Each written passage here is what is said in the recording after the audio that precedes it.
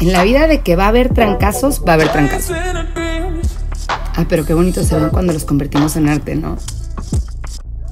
Mi nombre es Rocío Gómez y en el podcast El arte de los trancazos vamos a estar invitando a personalidades que muy probablemente todos ustedes conocen para que hablen de cómo convirtieron algo que les dolió y que les rompió en arte. Bienvenidos, comenzamos. Mi corazón parece y se asemeja a una almeja sacada de la mar. A veces cierra miedoso sus dos conchas, a veces se abre para poder amar. Cuando esto pasa se expone a los peligros de esa basura que flota en el amor, que es el engaño, el dolor y la tristeza, que es el miedo, la duda y la traición. Cuando una de esas pequeñas basuritas va y aterriza justo en mi corazón, este se cierra, tan fuerte como puede, como almeja, trabaja en su dolor, y lo recubre, lo piensa y lo analiza, capa por capa sublima su dolor y esa basura que un día le molestara, en una perla poesía la convirtió. Y temeroso se abre nuevamente, habiendo ya aprendido otra lección. Coloca entonces la nueva perla blanca en mi rosario de perlas del dolor. Gracias.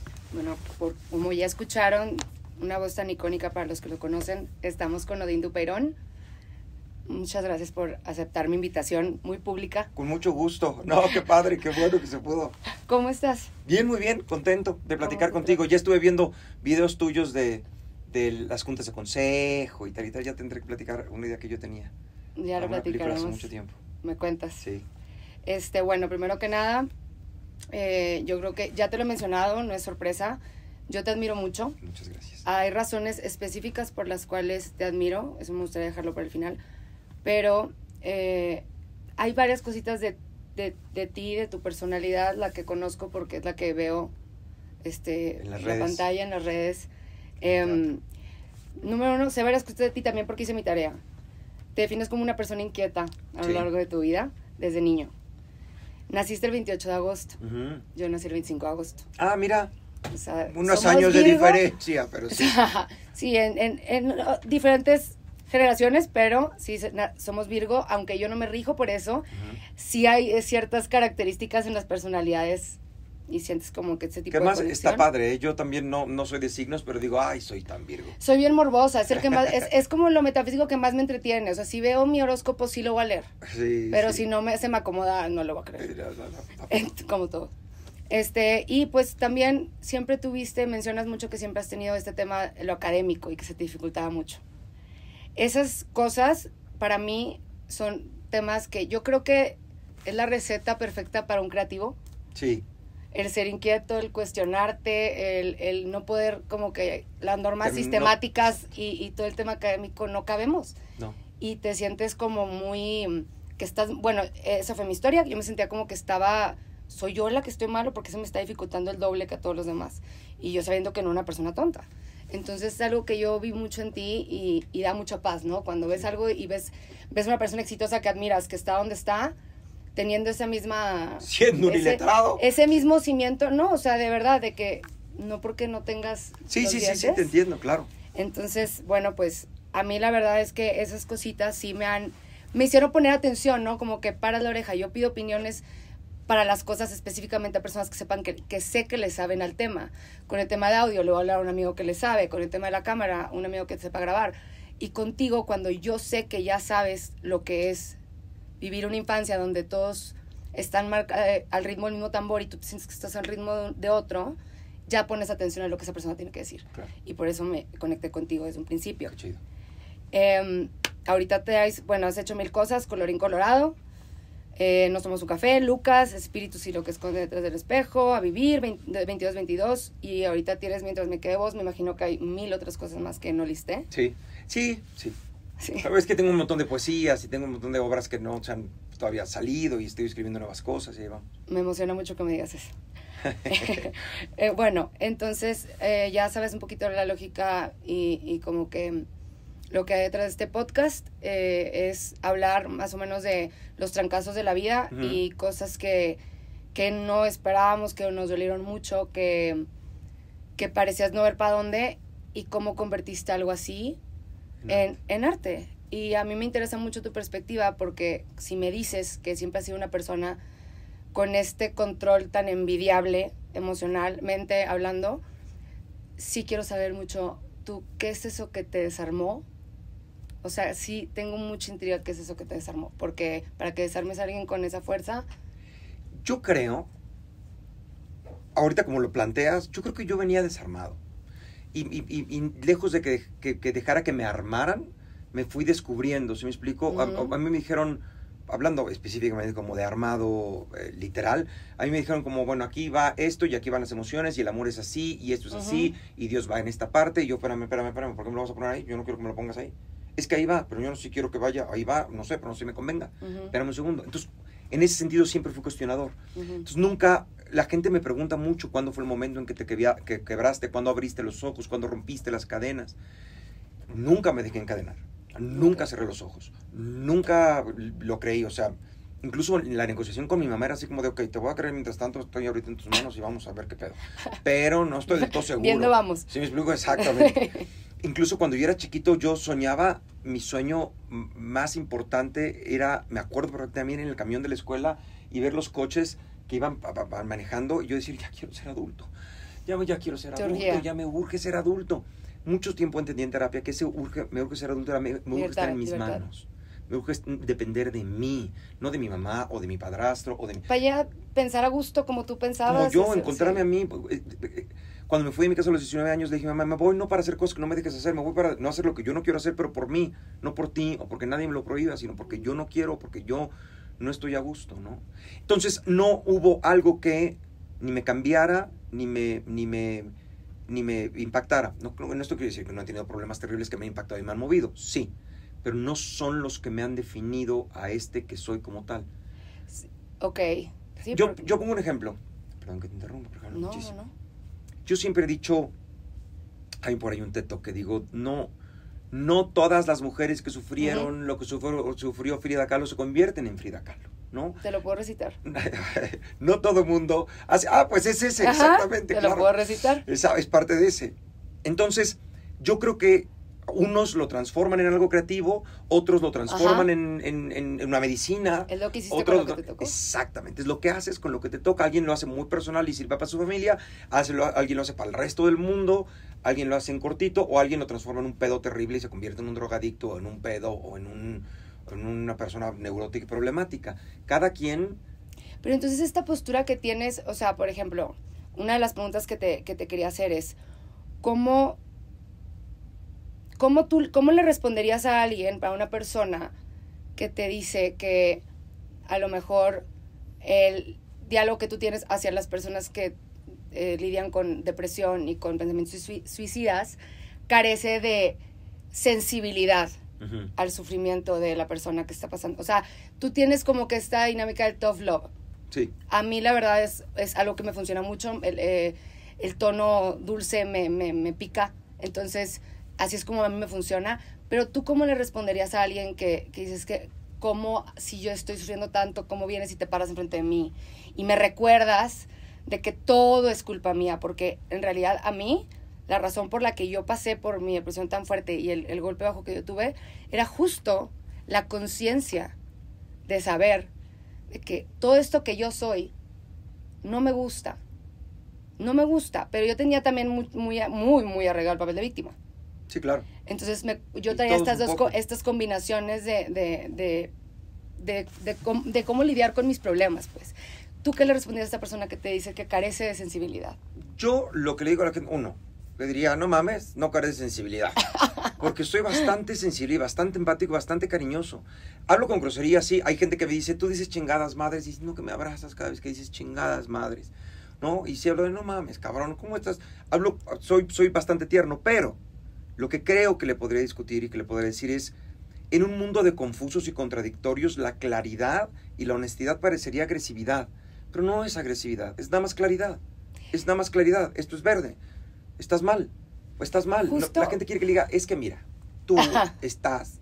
No, o sea, no estás, si estás mal, pero mira, te voy a decir, lo que pasa, y que le den varias vueltas, Y estás mal, estás mal, está azucararlo. cabrón, no está bien. Pero decirte no está bien, no estoy diciendo, es una pendeja, estoy diciendo, no estás bien. una cosa no es sinónimo de la otra. Eh, y justo va a, a la próxima pregunta que te quería hacer. Con esta relación tan sana con la realidad que tú tienes, en un mundo donde la mayoría de las personas tenemos relaciones tóxicas con la realidad y que por lo mismo alguna se le, le depositamos la responsabilidad a alguna deidad este o algo metafísico y nos deslindamos de problemas o de esa manera azucaramos este la vida y, para evadir lo que tenemos enfrente cómo se siente vivir en un mundo en un salón de clases donde todos tus compañeritos siguen pensando que Santa existe y tú ya sabes que Santa no existe cómo se siente, cómo fue un Odín de chiquito, viendo, creciendo siempre con este contacto muy directo a la realidad y una infancia en la que, pues, si naciste en el mismo mundo que nosotros, nacimos con Hollywood, Claro. nacimos, eso fue lo que le alimentó la expectativa de la realidad que tenemos ahorita. ¿Cómo fue tu vida? Para mí, de muy chavito, me sacó mucho de pedo. Si era como de, ma, pero ¿por qué la gente, pero cómo creen, creen en Dios? Pero, o sea, esto es cierto, pero sí, yo me acuerdo, tenía ocho años que le dije, ¿cómo sabemos que existe Dios? Y me dijo, porque es un acto de fe. Sí, pero ¿cómo, o sea, pero ¿cómo sabemos que sí, sí está? No puedes saberlo. ¿Cómo no puedes saberlo? No, Y tienes que creer. Tampoco. ¿Cómo que tienes que creer? Y yo me acuerdo de ocho años que le, que le dije, no le dije así, pero le dije como, no mames, ma, neta, así nomás tienes que creer y ya, no mames. Que... Y la gente lo sabe, ¿cómo? No, pero fui mucho de, la gente cree en esto, Odín, deja de estar chingando. La gente que deja, tus primos creen en Santa Claus, déjalos, está bien.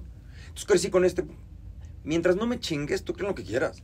Mientras no vengas y me hagas daño, entonces esa fue mi manera de vivir. Mientras no me jodas, no pasa nada. Si Sí. ya me estás jodiendo, vamos a tener que discutir. O si tocas el tema. Claro. La gente luego viene a decirme, es que tú dices, yo no te vengo, yo no vengo a Sí, decirte que sí. me oigas, tú me pasaste por aquí, yo escuchaste. No, y si me preguntas te voy a contestar, Exacto. ¿para qué me pides mi opinión? Este, la verdad es que a mí me, me cuesta mucho ahorita que yo estoy en estos últimos dos años, ando despertando mucho en muchas cosas que no veía, no me daba cuenta y que también antes, pues, era como que me sentía que había muchas cosas que otras personas estaban haciendo. Cuando, cuando estás chavita, que tu mamá te lava la ropa y te da de comer y todo, y luego empiezas a darte cuenta que no, tú te tienes que lavar tu ropa. que los no se lavan que- solos y la ropa no hay quien más- no van y el lavar, ¿quién va a changarro, si Ah, tú lo desocupas, se te van a meter. Sí. Cada quien está cuidando el suyo. Entonces, me cuesta mucho navegar ahorita en mis círculos sociales, con mis amigas, con la vida que yo he construido, con las ideologías que tenía antes. Escuchar estas conversaciones, porque yo estoy teniendo tres conversaciones a la vez en, en, en Claro. un tiempo. Entonces, mi siguiente pregunta es: ¿Ignorance is bliss? No, sí y no. O sea, sí es, sí, sí me parece que es una bendición la ignorancia en el sentido de no te das cuenta. Pero tampoco te das cuenta lo bonito y lo bello y lo hermoso y que Ujú. todo está en tus manos. O sea, No es es- como la sensibilidad. La sensibilidad duele muchísimo, pero te permite volar. ¿no? Sentir mucho te permite sentir las emociones, eh, digo, la- las malas y terribles que te hacen sentir triste, a las maravillosas, increíbles y el amor que te hacen enamorarte, decir y hacer, con la misma intensidad, ¿no? Entonces, si, si eres ignorante de las cosas malas, también eventualmente vas a ser ignorante de las cosas buenas. Es como un antidepresivo. No ves, blanco, no ves blanco y negro, pero tampoco ves colores. Y no, y, ah, y no, ah, exacto. Y también es como la morfina, te va a quitar el dolor, pero no te va a curar. Ajá. ¿No? Entonces, vivir pache, es como vivir pacheco o vivir pedo o vivir con los ojos cerrados. ¿no? Es vivir fuera de la realidad. Y fuera de la realidad eventualmente te cobra, te pasa factura. Bueno, entonces ya sabiendo esto de ti, que vienes como con este, desde antes, pues, de agencia, como te dije De hace agencia. rato, traes esta fuerza emocional de agencia. Entonces, Odín Duperón escribe de sus experiencias o para sus experiencias. Escribe desde sus experiencias. Ok. Y, escribe por dos razones. La primera es porque necesito eh, escribir, porque es la manera en la que, en la que leo lo que estoy diciendo y lo que te estoy pensando. Y luego lo expongo porque lo quiero compartir con. Porque si nada más escribiera para mí, pues escribir en mi casa, lo tendría en mi computadora, lo leería cada fin de semana y diría, ¡ay, qué chingón soy! Y ya. Pero lo quiero compartir con los demás porque quiero... Soy una persona muy compartida y, Y la gente me conoce hace mucho tiempo. Soy muy de... Yo de chiquito era de, oye, este chocolate está poca madre, prueba este chocolate. Prueba el chocolate. No quiero, no, pero pruébalo. No, pruébalo. Te va a gustar, pruébalo. Nada más pruébalo, coño. Pruébalo. Así Y mi mamá decía, deja a la gente en paz. Así ando yo No. con terapia. Yo era así de prueba, prueba, prueba, prueba, prueba, prueba esto, prueba esto y está muy padre. Fui a tal parte y está increíble. Ven, acompáñame al parque. Ven, Sí. ¿no? Eres Es- niñito emocionado que acaba de ver la película y le quiere decir a todos sus y a Tom, amigos. vela, tienes que verla. Vela. Quieres, quieres compartir la experiencia de la vida. Entonces, esa es mi otra parte. La parte en la que comparto mi experiencia de la vida y expongo mi trabajo. Pero nace de lo que he aprendido. ya sea de manera muy personal o a través de la gente que conozco. Si yo tengo una experiencia, mi mamá tiene una experiencia X, a través de su experiencia yo saco conclusiones. O sea, usted tiene el privilegio de aprender de cabeza ajena. Eso es la, la maravilla que a mí me pasa mucho, que tiene que ver con la empatía. Todo mundo tiene la, la capacidad de experimentar en cabeza ajena. ¿Comparte? Sí, ¿verdad? La gente si quisiera podría experimentar en cabeza sí, ajena. Si porque, porque, porque si pones atención y estás dispuesto a decir, sí, sí estoy viendo. Esto pasa con las drogas y esto pasa con... Sí estoy viendo que la gente de repente no la controla y de repente se le pasa de tueste y de repente... ¿Para qué me meto ahí? ¿No? O si estoy viendo que la, la montaña rusa, porque siempre dicen cada quien habla como le en la feria, pero como también la feria tiene que ver con las decisiones que has tomado en la feria. Sí. Si estás en la feria y estás viendo que están saliendo la gente del juego torcida diciendo, no mames, ay, no, este güey es un pendejo, esta cabrón es única la chingada, me hizo mucho daño. Y dices, no, a mí no, yo creo que me voy a subir. No mames, te de la chingada en la puta feria. Sí, nos seguimos sorprendiendo de comportamiento en patrones y, y eso es algo que, no sé, yo creo que es más fácil para muchas personas digerir eso que la realidad, porque pues la realidad es aceptar y soltar un poquito de que esto es lo que así están las cosas. A mí me encanta por eso mucho ese este monólogo que tienes de nada es del todo inesperado porque es justo eso. O sea, si tú pones atención, ahí están las cosas. Yo yo mi última relación que fue como el detonante de, de este breakdown reciente que tuve, fue eso, justo, o sea, fue una lucha interna muy fuerte y yo soy muy gacha conmigo misma. Era, ya soy más buen pedo. Pero eh, antes era este como, estás viendo, güey. O sea, todo estaba ahí y como que tenía este coraje así mismo de que tan poquito te importo, güey. Yo, o sea, Rocío, Rocío. Yo conmigo. Que me andas poniendo, o sea, ahí andamos con el no te vas a quemar, no te vas a caer, no te vas a pisar, no te vas a... Enciérrate por un COVID pero andas con la amistad tóxica, la relación tóxica, la, la dinámica familiar espantosa y no saber poner límites. Bueno, partiendo de esto, te quiero preguntar, si tú tuvieras que recomendar, imagínate que no, pues no un alma, pero ponle tú que hay algo antes de la vida y te está diciendo, oye, güey, no sé si nacer, ando viendo. y tú tienes que vender la vida ¿cómo la venderías? Pues así, está poca madre. Véndele un comercial. increíble. ¿Qué recomendarías de la vida y cuáles serían tus disclaimers? Ah, y avisando, tal, tal, tal y tal. Este, yo creo que la sería como es una experiencia irrepetible, o sea, no, no, no la e incomparable. No creo que haya, hasta ahorita que yo sepa, con que la puedas comparar. No, no tenemos una investigación que pueda decir, ay, mira, se parece mucho a otra. No, este David es una experiencia única e irrepetible. Vívela porque está poca madre. Puede ser una de las más chingonas experiencias con todo y el dolor y con todo y tal. El dolor, que la vida no sea perfecta no quiere decir que no sea maravillosa, que es lo que yo digo mucho. El que no te duele la vida no quiere que, decir que sea la mejor vida. Hay gente a la que nunca le duele la vida y vive vidas miserables y espantosas y aburridas. Hay gente a la que le duele mucho la vida y de ese dolor o de ese em, empuje o de esa pérdida saca otras cosas y encuentra. La vida es mucho, la vida es todo eh, lo que tú hagas de ella, lo que tú, lo que tú decidas de ella. La, vida es casi, casi, podría decir que en un 90% la historia que te cuentas diferente a la que de la que te está pasando. Si me explico, tú puedes ver un, mismo evento desde diferentes puntos de vista y tomarlo de diferentes formas. Hay una realidad, hay una cosa que es y es, pero tiene mucho que ver con la que la tomes. Esto que dice 22-22 de el hombre no le define lo que le toca, sino lo que hace con lo que le toca, tiene mucho que ver. Tú puedes contar la historia de yo viví una relación tóxica terrible donde él hizo y yo no me di cuenta y me puse de tapete y le tiré y eso me hizo sufrir. O yo vi esta relación donde un cuate no se dio cuenta y yo tampoco nos dimos. Y entre los dos creamos esto, pero eso me hizo abrir los ojos para tomar terapia y eso me ayuda. Y puedes contar una historia súper linda de eso. Depende de cómo la cuentes, depende de lo que, que saques. Entonces, la, para vender la vida sería ve y haz de tu vida una aventura. Vívela, experimenta, cae, levántate, enférmate, cúrate, arrástrate, levántate, pártete el alma, come, disfruta, viaja, ¿no? Eh, y ya nos vemos cuando vengas de regreso a ver cómo fue. Es como si mandara a alguien a Europa, ¿no? Vete, vete, viaja, come, enamórate, cáete, que se te pierde el puto pasaporte, luego lo regresas, ya. Pero ¿qué voy a hacer si no? Cuando yo era chiquito, las fotos regresando. Cuando yo era chiquito, me acabo de acordar, cuando yo era chiquito, yo era tan disciplinado que me mandaron a una escuela militarizada en Estados Unidos. Este, estuve un año estudiando en Front Royal, Virginia, en una, en una academia militarizada de la Fuerza Aérea de Estados Unidos. Era privada, pero era, era parte de la Fuerza Aérea. Muchos de ahí salieron, incluso se hicieron parte de la Fuerza Aérea de Estados Unidos. Yo no, pero estuve a los 13 años ahí, de los 13 a los 14, un año y, y cachito. Y me acuerdo que las primeras semanas yo le hablaba a mi abuela paterna para decirle, abuela, quiero regresar. Las primeras veces tomaba la llamada, las segundas veces ya le decían, collect call, Sí. from Medellín", y decía, la abuelita no está, no está. Y yo lo oía que decía, no está la abuelita. Yo, qué poca A la madre. vuelta joven. Entonces me, tuve, me, me- me enfrenté a la vida. Muy corte, ¿ah? muchos años después discutía con un amigo, Héctor Sandarti, que él, él es religioso, muy religioso, pero discutíamos sobre la religión y yo le decía, Dios, si existe, debe de ser como mi abuelita. Nosotros estamos aquí diciéndole, Dios, por favor, Dios, y anda, vete, luego, ay, luego regresas, no, el Dios no está, Sí. no, que dígale que viva y que se arrastre, ching, y cuelga, Sí. ¿no? Es como eso, Es como la maestra en un examen, Miss, pero es que, es que aquí, no, resuelve, tú. hazlo. Sí, ¿no? Entonces sí. eso diría, resuelve, no trates de comunicarte conmigo. No, si, si mi abuela me hubiera contestado todas las veces, yo hubiera estado pegado en el teléfono hablando con ella. Ah, como no me contestó, no me quedó otra más que irme a, a pasear por los parques y a entrarle a la vida. Ya, ya no me contestaba el teléfono. ¿no? Sí. Entonces yo creo que es eso, es como una, es una experiencia que tienes que vivir. Es como si vete a Europa, no me hables. Ay, cuando termines veamos cómo acabó todo. Y ¿no? también yo creo que, ajá, o sea, con eso viene el, pues saber que nadie sabe qué pedo. Como que vivimos pe- pensando que nosotros somos los que estamos mal, porque estás solito en tu mente diciendo, estoy seguro que todo el mundo tiene este pedo súper Sí, solucionado y claro. yo ando valiendo queso y Todos estamos valiendo que eso. todos están valiendo queso. todo no tiene- siempre he dicho que a los, a los 20 te importa mucho lo que la gente piense, ¿no? A los 30 te vale madre lo que la gente piense. A los 40 te das cuenta que nadie está poniendo atención, pendejo. Sí. Todo el mundo está en su puto pedo. Es que sí. ¿Cómo? Esa es mi siguiente pregunta. Odín Dupeirón, con este...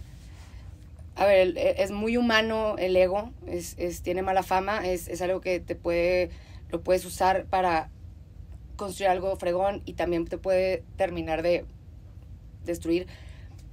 ¿Cómo le haces tú, estando en esta postura de que yo ya me sé más o menos el hack a este pedo? Y el ego, ¿cómo, cómo domas a la bestia tú del ego? Porque no es que lo abandones, no es que lo, lo niegues o lo, o lo ignores. ¿Cómo tienes esta relación con el ego sana y cómo lo domas todos los días? O sea, ¿cómo no te entra este... No sé. Soy una persona, y lo- alguna vez lo hablaba en psicoanálisis, decir, digo, de hecho, tengo una frase de repente aquí con mi gente, y lo digo de repente, yo debía ser más mamón. No, cuando la gente llega y me dice, es que me salvaste. Ahora que tuvimos las recientes, las obras que empezamos otra vez, no sabes la gente cómo se acerca a decirme, es que tu programa, es que tú es, que ahora en pandemia, es que soy muy mal. Y me lloran y me dicen cosas y les platico y les digo muchas Claro. gracias. Pero de repente me digo, ay, yo debería ser más mamón, de veras, debería creerme más. Creo yo que pasan dos cosas. Uno, me conozco y sé quién soy. Tengo un ego sano, bueno, sé Ujú. chingón, me siento chingón, me Se gusta mi vida, me siento bien conmigo, no se lo tengo que andar demostrando a nadie. Lo que la gente piense de mí es su pedo, no es mío, para bien o para mal. Si tú piensas que soy un Dios maravilloso, gracias, pero pues es lo que tú piensas, Sí. yo sé quién soy. Si tú piensas que soy un pendejo de mierda, ok, me vale pito, yo sé quién soy. ¿no? Y, y más la gente. ¿no? Eh, me, me quiero gustar a la gente y quiero caerle bien y quiero consumir mis productos, no por encima de mí, no en contra de mi creencia, no a huevo. Ujú. Si no te gusta lo que estoy presentando, bueno, pues gracias. Y me baso más en la gente que, me- que me acompaña en el día a día, que son los que me definen mucho más, que sí me conocen a fondo. ¿no? Sí. La gente que trabaja conmigo, Diego, Roberto, Rafa, Idalia, Sí, Alma, la mi gente que madre, se basa en ti y no en la idea de ti. pues. mi- mi- los, mis amigos de secundaria con los que todavía me llevo, que Ujú. saben quién soy, que saben, ¿no? que discuto con ellos. Ellos me, me, me aterrizan más, me tienen, ¿no? Porque yo quería todo lo que el mundo me dice, Mm. que era insoportable. ¿Cómo, Más. ¿Cómo sería tu ATT? Mi ATT, eh, yo, ¿Cómo lo verías? yo creo, yo creo, Pa- pausa, para las personas que no, que no entienden, ATT es... es un personaje de la obra 2222 que supuestamente se le aparece para cerrar las cuentas al, al personaje principal y le dice, usted me ve como usted me quiere ver a través de quien usted es. Yo pienso que mi ATT, eh, puta, no sé, lo vería, sería una mezcla entre, entre mi madre, ¿no? O sería una mezcla entre mi psicoanalista, yo creo que sería, no sé de qué está haciendo este cabrón allá afuera. Yo sí sé cómo se No traes micrófono, no, no, no puedes- este no es- esto no es mientras me quede voz, Rafael. Esto, mira, aquí, cállate. Este, no, yo lo vería como, yo creo como mi psicoanalista, o como quién dices tú. Sería San Román. Ah, sí, San Román es mi psicoanalista. Lo vería yo creo que como, como mi terapeuta. Estuve 30 años con San Román. O sea, 30 años. 30 años que fueron más o menos eh, unos 8 o 9 de trabajo y los demás de, de- deporte. Y fíjate, esa es otra, esa es otra coincidencia. Yo también, la, la, el, el tipo de terapia que a mí me funciona más es psicoanálisis. ¿Sí? pero cañón, o sea, ha sido, es, es la, la más agresiva, pero es para mí la que más me hace, con lo que más puedo hacer algo, o sea, para mí es, ok, me lo estás dando tan claro y tan crudo que ya sé cómo manejar. Y también depende del, del terapeuta, ¿no? Hay Sí, muchos terapeutas lacanianos muy buenos, hay muchos terapeutas ¿no? psico- psicoanalíticos hay pésimos. abogados muy pendejos y hay abogados muy chingones. A mí me tocó la gran fortuna de que Federico San Román, yo decía, pues llega con San Román, es un santo, seguramente me va a ayudar, porque pasé por muchos antes también. Porque Santos le rezas mucho también, Ajá, sí, sí, sí, sí. Pero ahorita cuando llegué dije, este es un santo, entonces seguramente va a ayudar. Me puse una puta arrastrada Ay, de no, mierda. Y ya cuando me arrastró así terrible dije, ¿No dormiste un día entero después de la primera sesión? no regresé en tres meses. O sea, me dio una primera sesión y no regresé en Te tres meses. asustó. Dije, su puta madre. Aquí es donde me van a partir la madre. A mí mi primera sesión, yo o sea, lloré tanto la primera sesión, no, me, no lo veía venir. Yo estuve yendo dos meses todos los días. Y la primera sesión me acuerdo que me eran las 4 de la tarde y me despidió y me dice, que descanses. Y yo, son las 4 de la tarde, güey. O sea, está bien que sí, tengo 26 años, pero no soy adolescente todavía, que no me voy a dormir. En la tarde y me y no entendí y llegué a mi casa y ¡pum! O sea, fue un desgaste agotador. emocional agotador. Entonces, bueno, otra pregunta. Este, tengo que darte un poquito de contexto para esta.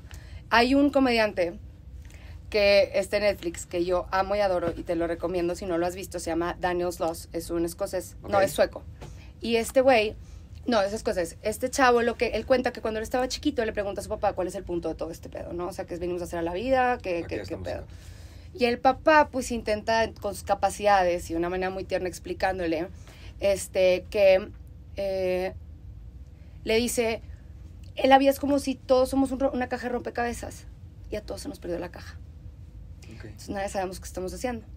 Este, el tema es que como se nos perdió la caja, pues empiezas con las esquinas, ¿no? Empiezas familia, amigos, este, Sí, claro. hobbies y trabajo, ¿no? O cosas así. Y empiezas a armar tu, tu historia. La imagen principal, él le pregunta al papá de que, pues sí, pero ¿cuál es la imagen central? ¿Cómo vamos a saber qué pedo? Esa es tu pareja. Entonces, a él lo configuraron en su cabecita a los siete años que, pues, si no tienes pareja, tu rompecabezas está incompleto. Órale. Entonces, él empieza con eh, su, su, transición de pensamiento, pues fue dura porque era como, o sea, si yo no estoy con alguien, no estoy completo, este, y es, se empieza a dar cuenta que somos una generación de personas que no sabemos estar solas y andamos contratando raza para que haga lo que nosotros no podemos dar. Ahora, mi pregunta es, si tú pudieras, él dice que llegó un punto de su vida donde se dio cuenta que no era su pareja, que él todos los días de estar con la gente con la que hace stand-up de- es, es, es su, su, la, la parte central de su rompecabezas y que es lo que más te haga feliz. En el caso del papá, qué suerte que era su mamá, pero no siempre es el caso. Claro. ¿Cuál sería tu imagen principal hoy? Porque puede cambiar mañana y pudo haber sido otra ayer. ¿Cuál es tu imagen principal del rompecabezas que has armado hasta hoy? Ay, va a sonar terrible. Yo, Tú. yo siempre he sido el centro de todo. O sea, soy el centro de mi universo. Me he rodeado de gente que, que, que me ayuda a ser mejor yo, Claro. a, a- a- a- a amarme a mí, a disfrutar. De hecho, eh, si te elijo como pareja es porque yo lo voy a disfrutar. Claro. Lo que voy a comer, el restaurante que voy, los amigos que tengo, el equipo que tengo de trabajo es porque me va a ayudar a mí, ¿no? Y de una manera que podría sonar egoísta, por eso digo que puede sonar horrible, pero el centro soy yo. O sea, tengo, te- ma- malabaré muchas cosas. La independencia es la multidependencia. Si yo dependo de mis amigos, Sí. de mi trabajo, de mi vida, de mi... No, entonces trabajo... Si, si nada más es... Todo es mi teatro, entonces cuando se acabe el teatro, ¿qué pedo? Hubiera vivido un año de la mierda, ¿no? También son otras cosas. Y si se Claro. acaba mi trabajo, pues no tengo a mis amigos. Si no tengo a mis amigos, tengo a mi familia. El día que no esté mi madre, pues estará Sí. no sé. Y el día que no, tendré una pareja. El día que no tenga pareja, tengo trabajo. El día que no trabajo. Dependo de muchas cosas. La única persona de la que dependo absolutamente y por completo que esté al tiro soy yo. Si Ok. yo fallo, si yo no estoy, si yo no sé malabarear la familia y el amor y el trabajo y tal, si yo soy un pendejo, todo lo demás, las bolas se me caen Claro. piso. ¿no? Entonces, en este malabarismo que estoy, no es que es más importante la familia, es más importante la que viene, la que sale, la que viene, y ahí voy. Pero el más importante, el centro de todo, soy yo. Si yo me quedo pendejo, ¿qué hago conmigo? Sí, se me hace una buena, muy buena respuesta. Y sirve para todos los años, sirve Sí. para hoy yo con el trabajo, hoy yo con la pandemia, hoy yo con el amor, hoy yo a los 50, hoy yo ayer a los, yo a los 40. O sea, yo siempre, yo... Qué interesante ¿de vivir una vida donde, to- donde siempre fuiste tú. Como que creo que está muy de moda el despertar y como andamos dejando el sacrificio y el golpe de pecho atrás cada vez más, este, cada vez la gente va despertando de que yo tengo que ver por mí, o sea, tan simple y sencillo, mi mamá el, el matrimonio y la dinámica familiar ha mejorado mucho porque ya me empezó a decir yo voy primero y después ustedes. Es que así y, es. y, y, se empie- y tú te puedes dar cuenta donde eso se empieza a reflejar. Entonces, pues la verdad que... Y si tú estás bien, no nada más, no es, no es como, como tú estás bien, entonces todo el mundo, no, pero sí empiezas o a elegir o a atraer a las personas, y no atraerlas de manera mágica, no, sino a, a poder, a, a ver con quién haces clic. Si yo creo que necesito ser castigado, pues voy a buscar a alguien que me esté castigando. Si yo me Claro, digo que no me merezco totalmente, esto, totalmente. no me vas a, va a hacer una cara y te voy a decir, chingar a su madre, ¿de qué putas me estás hablando? ¿Por qué me tratas así? No mames. Uno, O sea, te advierto que no me hables así y vemos, y ya si le bajas de huevos podemos un Ahí lo negociamos. Sí, sí, sí. No mames, no, si no puedes, no. uno de los trancazotes que mi psicoanalista me soltó, porque o sea, hay veces que le Sí, digo, nos sueltan "Ajá, te putazos". me acabas de pasar de lanza. Una de esas fue que yo le dije, es que esa relación es donde yo más querida me he sentido, donde más valorada me he sentido, donde más reconocida me he sentido. Y me dice, ¿y con un narcisista cómo estará el pedo? Y yo, "Oh", Oh, así. sí. Esos me encantan. ¿no? Uy. Por eso cuando un psicoanalista dice, y no he pensado... Pero pa- aparte habla de que tres palabras y con esas tres me tumbó el evento. Total. Ok, ahora te quiero... Ahí tengo, una, tengo seis preguntas y quiero que escojas un número, bueno, tres números entre el uno y el seis ¿Ok? para ver, este... Antes que nada, déjame decirte una cosa para, pa- terminar este tema que me importa mucho Sí, sobre sí, lo que sí, dices tú, favor, de- de que favor. trata el podcast de, de cómo haces algo en arte.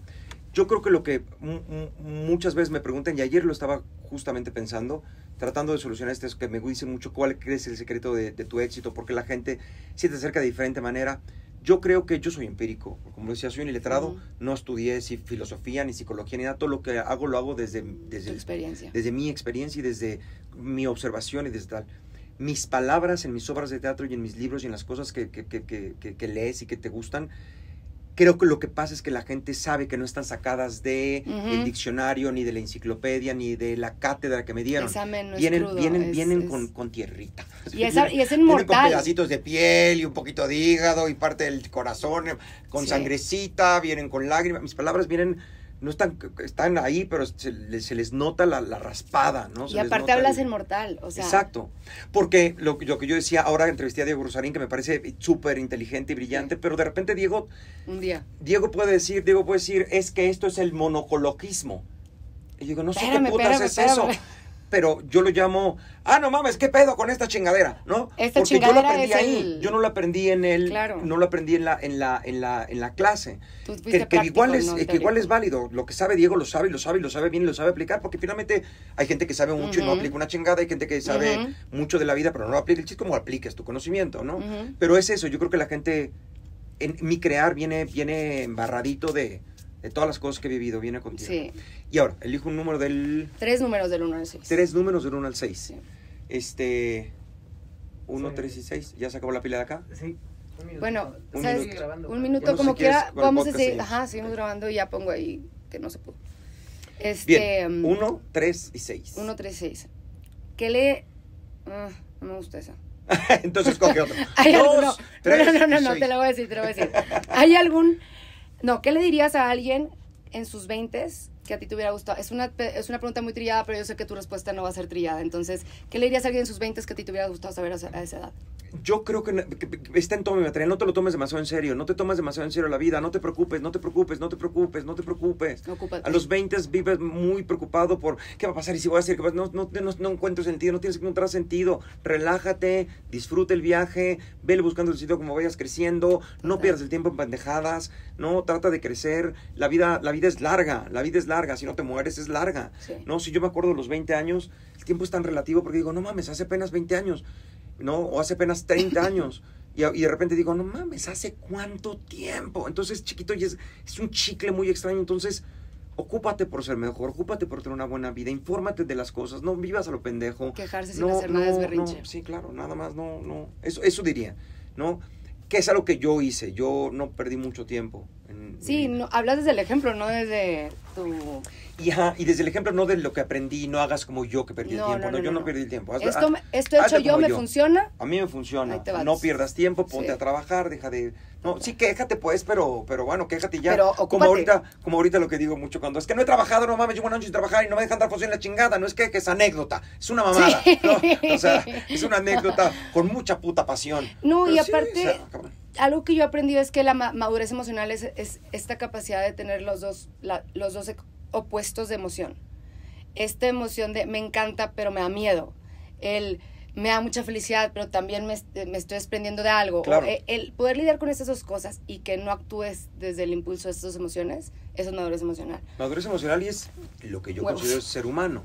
El ser humano es la que tiene la capacidad de razonar las emociones y no nada más ir tras ellas porque lo sintieron. Si me explico, los animales tienen miedo y siempre tendrán miedo a ciertas cosas. A menos que alguien les explique al perrito, mira, Sí, no, sí, espérate, sí, no asusta, Aquí no, aquí la escoba no. ¿no? Pero hay perros que por mucho que les explique siempre van a tener miedo a la aspiradora, siempre toda la vida, ¿no? Porque no la entienden, porque no saben, y nosotros sí podemos, Sí. podemos sacar conclusiones. En ese sentido es una ventaja que tenemos con nosotros mismos, se trata de ser humano. Totalmente. Em, en un año como 2020, con chingos de retos y, y de incomodidad, hay una frase que no sé dónde la escuché de tanto que vi de tu contenido, pero que creo que decía el caos es tierra fértil Ajá. para que Nazca todo lo bueno. nazcan cosas buenas. En un año como 2020, ¿cuál es tu memoria más bonita? Más bonita, sí, puede ser algo muy tonto como un café súper rico que te quedó en la mañana. o algo No, no, fuerte, mi memoria más rica del, del 2020 no tiene que ver con un momento específico, tiene que ver con una forma.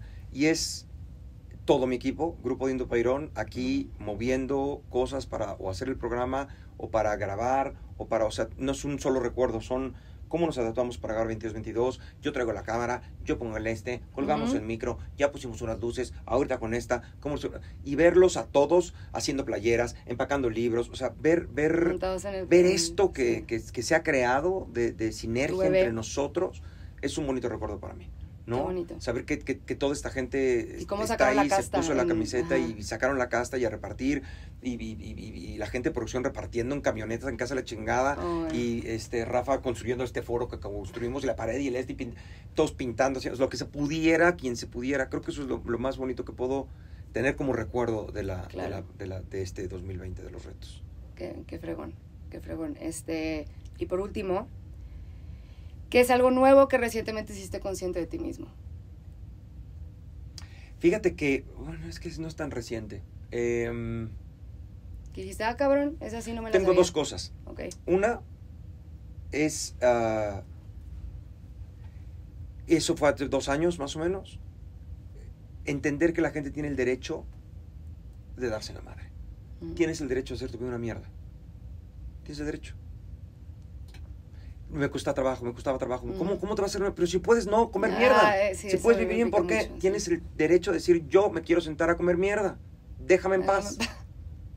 Pero te Total. cae, o sea, hay, otras cosas y está, nada más, si te mueves tantito te puedes incluso quitar de la mierda y te puede ir mejor. Totalmente. Quiero, me asusta, no, esto me sé, aquí me quiero quedar, déjame sentado en la mierda. Ok. Eso me costó trabajo entender. Es- No es algo recién que es- descubrí que tengo que tener la capacidad de, Es soltar. de dejar que la gente coma mierda jugos. siquiera. Y la segunda me pasó ahorita que platicaba justo con Diego, este que lo entrevisté, antes nos tomamos un café y tal. Me reconocí, ya lo sabía, pero reconocí un poco platicando con él, con lo elevado que él es y con los Ujú. estudios que él tiene. De repente poder discutir cosas, yo desde, y le decía, desde, desde, desde mi ignorancia, desde, desde el iletrado que Ujú, soy, desde... ujú. Yo no te puedo citar a Sócrates. Lope de Vega y a Sócrates, no, Sí. pero te puedo decir, esto está mal porque está mal. Me pasaba con mi psicoanalista. Mi psicoanalista me decía, usted tiene una inteligencia intuitiva. Porque yo le decía, yo pienso que sí, y así, y así, y así. Y me decía, eso lo dice Descartes. Ya, pues estoy de acuerdo con Descartes, ¿no? Ese Descartes. Ese Descartes tenía Sí, toda la sí, pinche sí, razón, el cabrón, ¿no? Yo llego por conclusiones. Pero me da gusto poder, poder entablar con alguien a que admiro, porque, porque poca gente de verdad admiro, este, no porque sea mamón, sino porque creo que tienen que tener algo como muy, muy, muy muy, claro para que digan, no mames, admiro a mucha gente de qué padre cocina, qué padre, qué buena persona es, qué lindo talento tiene, cómo sabe de la vida, pero alguien como Diego, por ejemplo, que me parece tan certero en cómo dice las cosas y, y muy claro, me dio gusto poder platicar, poder sentir que estamos platicando el uno a uno sin decir, yo soy el artistita, humilde ratón de teatro que no, No, sabe". y si te No, sientes sí, el sí, más ya- crack, si te sientes el más crack en una habitación, estás contando con las personas equivocadas. Sí, claro, por supuesto. Entonces yo creo que una persona así con este léxico tan amplio y este conocimiento tan, tan grande como es el de Diego, que de verdad, repito, o sea, vi esa, ese debate y para mí fue Es fantástico. wow, un aplauso para Diego. Este, a mí me gusta rodearme de esa gente, que me Claro. ponga nerviosa, que me, que me, que me intimide intelectualmente, o sea, y a ver, y, y cómo se hizo esto, y... Fíjate y- que descubro, porque cuando me cuando dije voy a platicar con Diego, me dijo, ¿vas a platicar con él? Sí. Yo en ningún momento me sentí este como de, ah, no. Intimidado. Diego". No, ningún momento. Yo, lo que descubrí después de la plática fue decir, ah, cabrón, platiqué con toda la puta desfachatez que da la ignorancia. Ajá. No, con él, con él como hablo, como... Y eso, eso es algo que, de nuevo, no es que sea nuevo en mí, sino lo que lo redescubro Sí. yo iba de chavito al doctor y entonces decía, es que ahorita estoy tratando de acordarme, pero no fue contigo, con Rafa que está aquí. Este, yo iba chavito al doctor y, y me decía, me duele aquí, me duele esto. Y me decía el doctor, ah, es, no, reflujo. No, no es eso. O sea, doctor, ¿Cómo no va a ser reflujo? No, es que no siento sea como reflujo. Fíjate. ¿Cómo no siente que sea como reflujo? Es que no siento, yo siento que es como más el músculo. ¿Por qué piensa que es el músculo? Es que yo siento que es como, ah, como que... me- entonces me da, ah, mire, sí es el músculo, fíjese que... ¿Cómo llego a eso? No tengo ni puta idea. No estudié medicina, evidentemente no era el doctor, pero los doctores me decían, es uno de ellos me dijo alguna vez, ya de grande, es impresionante cómo conoce su cuerpo y sus dolores. Yo puedo decirte, no nada más es me duele, es me duele y el dolor es agudo, el dolor es frío, es caliente, es profundo, es eléctrico, Ujú. es... ¿no? Tienes un don de la O sea, palabra, eso también es, voy- es- es voy- bien importante, porque sabes comunicar muy bien lo que tienes en la cabeza. Y aunque no sepa comunicarlo, sé que no, no suena. ¿Sí me explico? Como le decía de chiquito al doctor, "Mm, no, no es eso. Se siente como más, como acá. Ya. ¿Pero qué es eso? Es que no, no me suena que sea así. Y era increíble con mi mamá, Wow. como decían, ¿cómo? ¿Cómo? Sí, a veces no, no siempre tenía la razón, pero muchas veces sí, muchas veces sí es que no es por ahí, doctor. No, y hay personas más, más, más sensibles a- a- a ese tipo de cositas. Y sí, a la intuición yo creo que es, en- es uno de mis personajes y es, es el personaje que nadie escucha. Habla muy bajito. Habla muy bajito. Entonces, este, Y a veces se le confunde, o sea, la intuición habla, pero a veces no está hablando de la intuición, No está sabes hablando quién es. tu experiencia pendeja de allá atrás que te está diciendo Exacto. una mamada. Exacto. Y estás de la intuición. Sí, no, yo, yo con mi psicólogo siempre reboto cuando no sé bien cómo aterrizar el chiste, o sea, quién darle la línea para el punchline. Le digo, a ver, ¿quién? Me dice, no, güey, esa es la intuición. Muchas veces piensas que es este e- ego, que es lógica, o que es que, gente que te está, o terapia incluso. Sí, claro. No, esa es intuición. Entonces, este, en, en un video que hice sobre el abuso, al final del video sale diciendo, este, cerebro, tenemos una nueva integrante, ya sé que está muy malo el timing, pero eh, se llama intuición, habla bajito y habla bien poquito, entonces que cuando hable pongan la atención. Y es, es eso, o sea, porque yo sí viví, soy, yo siento que soy una persona muy sensible, muy intuitiva, pero siempre pensaba, ya cuando empecé a dar cuenta, ah, cabrón, no, si tengo razón un chorro de veces, ya empiezas a tener un poquito más de confianza. Sí, sí, claro. Entonces, bueno. y te lo agrega- te agregaría para tu personaje Dale, si te dale, sirve. Yo pensé que no nada más habla bajito, sino que cuando la intuición no está bien alimentada y bien formada, se deja manipular por los ojos. Después decir la intuición, dile, dile. Que te-". Y es el corazón que le está diciendo a través de la intuición. ¿Sí me explico? Yo creo que solo cuando la intuición dice, no, espérate, totalmente. cállate. No, no La ya no me vas a dejar manipular. La intuición puede dejarse... La intuición nunca te va a decir que vayas a cerrar el ciclo. ¿Ok? sí. Para que, pa' que sepan. O sea, esa no es la intuición. Este, bueno, yo creo que ya por el tiempo estamos a punto de terminar. Yo quiero, me gustaría que, que me, te quiero, quiero decir un poquito de por qué te admiro y qué es en, en sí lo que más me ha, ha acercado a ver tu contenido y todo. Eh, la verdad, yo estoy muy en contra de, de los life coaches y Sí. de este, estas personas que se paran en- con este megáfono que ahora todo el mundo tiene con mucha facilidad, que son las redes sociales. Y, Sí, desde ahí dicen... no, y dicen eso mismo que tú, que, que dices en varios de tus, de, de tus pláticas y de tu- tus obras, es, puede ser muy caótico y es muy peligroso. Y te lo dice una persona a la que le dijeron muchas veces échale ganas. Y a la que le dijeron muchas veces el, este, no te da cosita, es, es- el suicidio es, es transferencia de dolor. Y el suicidio es súper egoísta. Y hay mucho, es muy difícil explicar a una persona. Que la persona que se quiere matar no está pensando en otra cosa. A mí me vale madre. Si a mi tía le va a doler, si a- incluso si a mi mamá le va a doler, a mi Vale, papá. pito, Yo no quiero que me duela a mí. Mm, Exacto, es, es, no, no hay nada que pese más que el cansancio y el agotamiento y la tristeza que siento yo, me vale madre. Entonces, este, es muy, es muy caótico y me encanta la manera en cómo tú tienes, hablas desde tu experiencia, siempre eres muy claro y dices, yo hablo desde mi experiencia, no estoy preparado para tal, no, soy, tal, no soy tal. No soy coach. no. Recomiendas mucho terapia, Mucho. hablas desde, desde que te ha funcionado y a mí se me hace esa es la manera sana de, de hacerlo, porque aunque yo pensé al momento cuando empecé a hacer los TikToks y sentí como que, ah, chis, estoy hablando desde el punto del paciente, nunca he visto algo así. No, pendeja, sí, sí lo has visto. Es lo que tú haces. Y no había podido hilar, tenía como yo creo que ya un buen ratito con juntas de consejo cuando me di cuenta que estoy imitando y yo creo que si me voy a copiar de alguien o me voy a inspirar de alguien, porque una copia, lo digo entre comillas, porque en realidad son dos tipos de contenido muy distintos, Son pero, distintos. pero si voy a adoptar la ideología de alguien que admiro, me, o sea, es la tuya, hombre. por esa precaución y ese respeto que le tienes. Número uno, la profesión de terapia. Y número dos, esa relación tan sana con la vida y no una relación tóxica, con expectativas sin fundamento. irreales. Porque finalmente, no, yo, yo siempre me llevo todo el medio cuando dicen es que no hay que tener expectativas. Claro que hay que tener expectativas. Tú tienes expectativa de que esa entrevista esté padre y que yo te trate bien cuando vengas. Tienes la expectativa de que es una buena persona. ¿No? Eh, Tienes una expectativa realista basada en cómo me has conocido. Si tuviera expectativa de que Odín me va a hacer algo especial porque voy a llegar, entonces eh, eh, ya es una expectativa Comadre. real. ¿No? Sí. Pero una expectativa real, son buenas expectativa- expectativas reales. Yo hago un restaurante y hago una reservación y tengo la expectativa de llegar y que esté la puta mesa a la hora que la pedí. No, Y no es muy decir, humano también no tener una de qué a expectativas. claro. Como putas madres, tengo, tengo expectativas, y no para que hacemos cualquier cosa. Ujú. Tengo la expectativa, estos tendrán expectativa de que les pague, ¿no? Cuando la Sí, quincena. sí. No, diga, no les voy a decir, ay, pues qué mal que tengas expectativas. Eh, No, eh, pues yo- el equivocado aquí eres tú. el equivocado eres tú, ¿no? Tienes expectativas, no, expectativas irreales, no expectativas que no sean tal.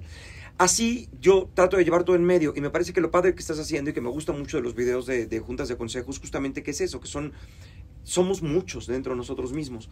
Yo tenía la idea de hacer una película hace mucho tiempo, mucho, mucho, mucho antes de que pasara TikTok y todas esas cosas, ni siquiera había YouTube, ni siquiera había Facebook. O sea, cuando yo estaba en terapia en mi mero mole, yo decía, tengo que hacer una película, tengo que hacer, no podía hacer una obra de teatro porque yo quería hacer todos los personajes.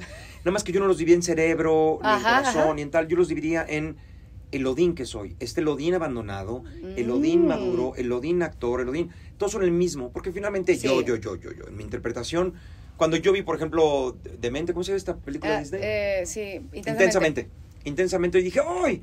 Está casi perfecta. A mí no me gustó, no me encantó porque siento que no nada más es tristeza, o no nada más es corazón, o nada Mm. más tal. Es muy difícil de explicar, por eso no, pero, pero somos un montón de cosas. El corazón no nada más es el corazón, es el corazón con el cerebro, con la experiencia, con la intuición. O sea, estamos muy mezclados. Entonces tenemos que saber cuándo está gritando el niño abandonado, cuándo está gritando el niño que tenía razón, cuándo está gritando cuando él dice, ¡Sale, corre, corre! Ujú, Tranquilízate, no tenemos que correr.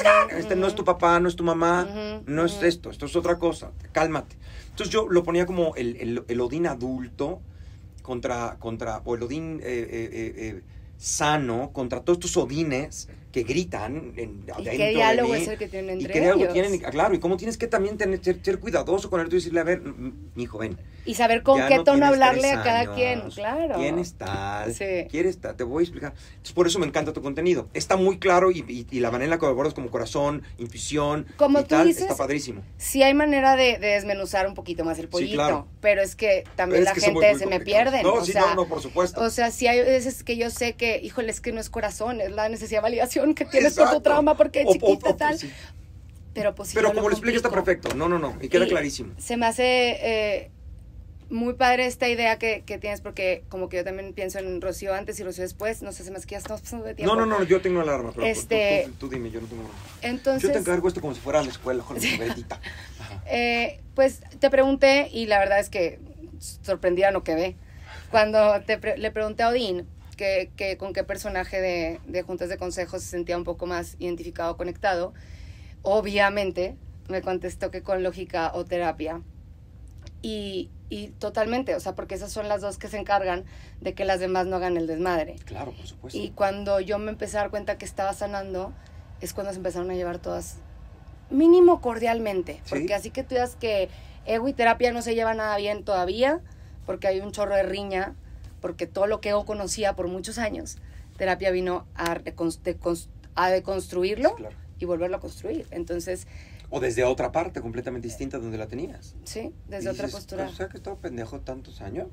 sí, Que es lo que a la gente le cuesta mucho trabajo de cambiar. Decir, no mames, he vivido así. sí. Pero, pero yo le digo a la gente, es como si vivieras 20 años en, o, o 50 años en una silla de ruedas y una terapia te viene a decir, ok, si trabajas chingón vas a poder caminar en 5 años. Y dijeras, no, Sí. ya, mira, llevo 50 en silla de ruedas. está, entrar en quedo". gastos, pues total. O sea, voy a entrar, voy a estar, en- no mames. No, el chiste es que digas, va, no importa, dejo, tuve pendeja en 20 años en silla de ruedas, lo que sea con tal de que pueda caminar, lo que sea con tal de que pueda correr. Así ¿no? estoy yo. Aunque, aunque, aunque te hayas equivocado antes. Y lejos de, yo agregaría lo que dices, lejos de que, que todas se lleven más o menos bien, que puedas darle a- a- a- en su momento. Yo, hay veces que le digo a mi niño, ahora sí date. Aquí sí, no hay, pro- ya, ya te despejé el camino, ve y O sea, disfruta y juega y tal, y disfrútalo. ¿No? Porque el niño todavía sigue ahí. Sí. ¿no? Está ahí, lo disfruta y ojalá nunca lo pierdes. La parte que tengo, mi, mi antioxidante es mi niño interior, ¿no? Mm, y hay veces que el niño interior me dice, quiero un helado. Te cae, yo no quiero un helado, vamos por un helado, cabrón. Sí. Yo te llevo por tu y helado. escuchar y saber bien. cuál de las voces es la que te está hablando en el Claro, momento. Entonces, ay, pues padre. no sabes lo padre que siento estar aquí sentada contigo. Yo a mi mamá se lo dije, un día voy a grabar con Odín y te voy a caer la boca. Y dijo, mamá, mijita, bájale. Y yo le dije, no. Entonces, te mando un saludo, mamá. Mamá, Eh. te mandamos un saludo que si se puede. Eh, y nada, pues qué buena plática, Muchas gracias. Expectativa superada totalmente. Espero que a la gente les sirva también y espero que algo se lleven. Com- investiguen, no, no digo, no tengo toda la verdad y lo digo desde mi punto de vista y a alguien le funcionan otras cosas, pero el chiste es construirte una persona mejor. Tienes una sola vida. Como yo no creo en Dios ni en nada, igual te mueres y no capaz de lo mejor posible. Déjate mamadas y trata de disfrutarla y no sufrirla. Y la- la- el instante que es la vida, el que nada más sea una y que después no haya o que no hubo, es lo que la hace tan valiosa para que le eches más Así. ganitas, porque es lo único que tienes. Sí. Muchas gracias otra Muchas vez. Y bye. Ah, pues ya no había Ah, acabado. no, ya la cámara se nos acabó. Don't let go. Chasing a dream.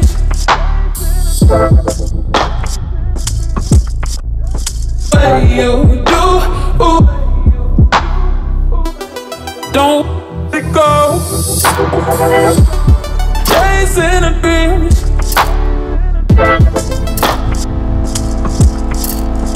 What you do?